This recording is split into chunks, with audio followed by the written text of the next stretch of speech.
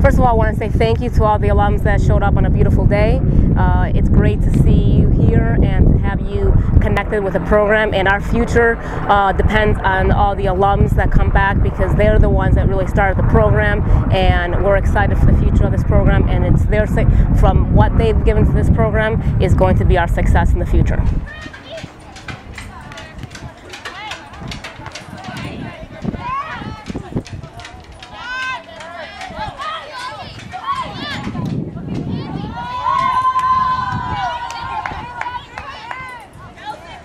Um, you know, I'm new to the alumni as of this year and just coming back and I think, you know, when you're on the other side of the field, you don't really get to know um, personally what these alumni are all about. So once you join that club, you just feel so much more closer and you still feel really connected to the program. So that's why I think these types of things are so important, you know, just keeping contact with each other, knowing that we're all still a part of the same thing. Uh, it's really cool to be back on campus, first of all, and then it's also nice to put um, names with faces. When I'm reading about the team, as we go through the years, I have the names, and now I know the faces, so we can uh, learn other people have gone through the program behind. After you put four years of everything you have into the program, it's kind of neat to come back and see the players that are doing the same thing now and having the same experiences. So it's a lot of fun.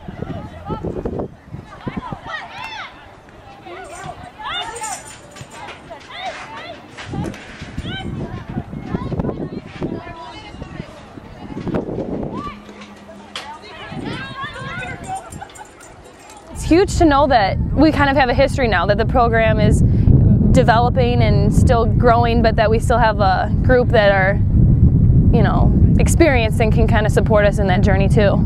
It's a big tradition that we've always had, and I don't know, it's just so fun. You get to see all your past teammates, teammates that are players that have played like 10 years ago, and it's fun to see everyone come out and just know that they just really care about it, and it's just fun to come out and play.